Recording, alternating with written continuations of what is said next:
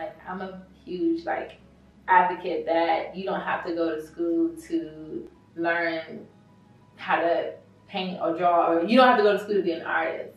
So for being a makeup artist, what is your thoughts on that?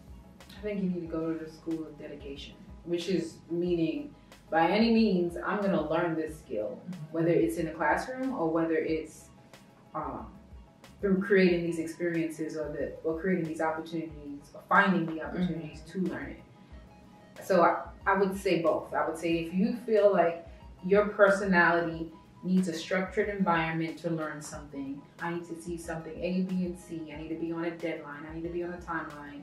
You know, I need to take tests to make me feel like I'm actually advancing. You know, you know your personality. Then go mm-hmm. do that. Mm-hmm. My personality, I absolutely do not think you have to go to school mm-hmm. Um, based on my personality. I, I feel like you can be self-taught. I feel like the access to information now is greater than it's ever been at any point in time.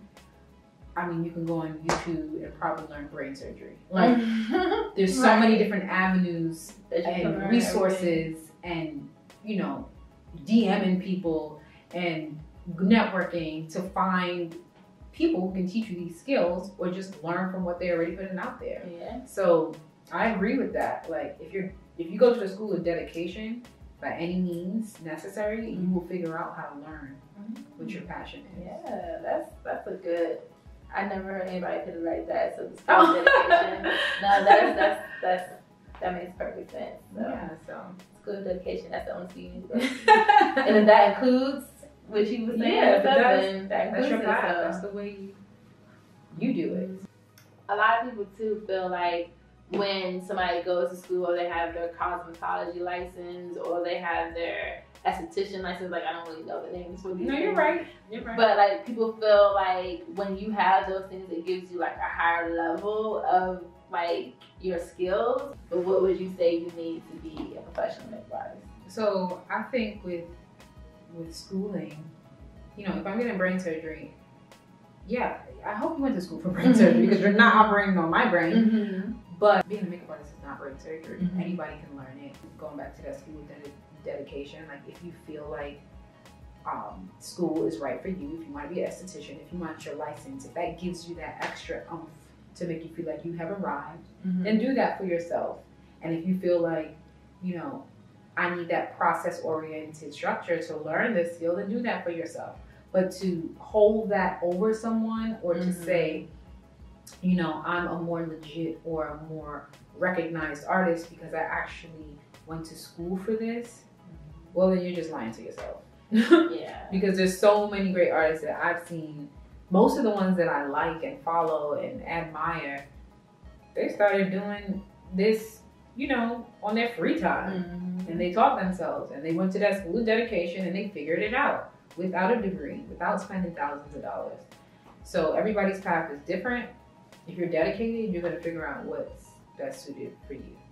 So you mentioned that you are a wife, a mother, mm-hmm. you're full-time professional art makeup artist. How do you like juggle all of that? I'm sure I'm not even mentioning everything that you do. So how do you juggle your schedule? Google Calendar, first of all. Like mm-hmm. the way I literally do mm-hmm. it is Google Calendar. If it's not on the calendar, it's not happening. Just like you sent me an invite for this today. If mm-hmm. this was not on the calendar, I was not going to be here. Mm-hmm. Like my Google Calendar is like the thing that I live by, and I'm very big on that. Ask all my friends. Mm-hmm. um, I'm the invite queen. I send you an invite mm-hmm. when we're just going to shop together. Like I don't play; it has to be on the calendar. So I think that helps me manage, you know, what I have to do, and it tells me in the long run what's coming up for me to prepare. But as far as having the tools and the capacity to do all those things, there's no right answer. I'm not gonna lie. Like it's a juggle, it's a constant struggle, it's a constant balancing act. Mm-hmm. You're trying to mm-hmm. figure out, you know, how to balance it all and how to have it all. Mm-hmm. And honestly, when I'm feeling overwhelmed, one of the things I ask myself is, do I have food? Do I have shelter? How is my spirituality? That's all you really need. Mm-hmm. Right? Like, and obviously does your family have food? does your family have shelter? How's your family's spirituality? Mm-hmm. But those are the things you need. Mhm. Everything else is excess. Mhm. Everything else is our wants and our desires and the things that we think we need to have. So there's nothing ex- wrong with aspiring to be better or to be to be great, but at the same time, um, when it comes to juggling these things, you really just have to prioritize. Um, and then also recognize that things would just not get done. Mhm. Am I going to clean this room? Or am I going to edit my YouTube video? Mhm. Sometimes you gotta pick one. One thing I told myself the other day was because I feel like my house never stays clean because I have a five year old and a two year old. I said, Your house can always be cleaned. You can always get your house cleaned, uh, whether you hire someone or whether you do it yourself. Can you always edit this video? Mhm. Can you always take this client? No.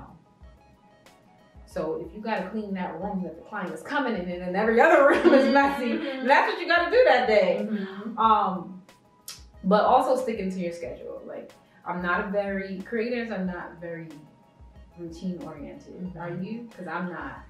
I'm It's- not. I'm, I'm trying to. I'm trying to, but, But with you, like I've seen on your stories that you're up like five, four o'clock in the morning, and it's just like, how do you do it all? Waking up so early, you having a husband, having two No. kids, like under five. listen. Remember. Still looking beautiful. Remember, this is for the viewers. What people put on social media is what they want you to see and what they want you to know.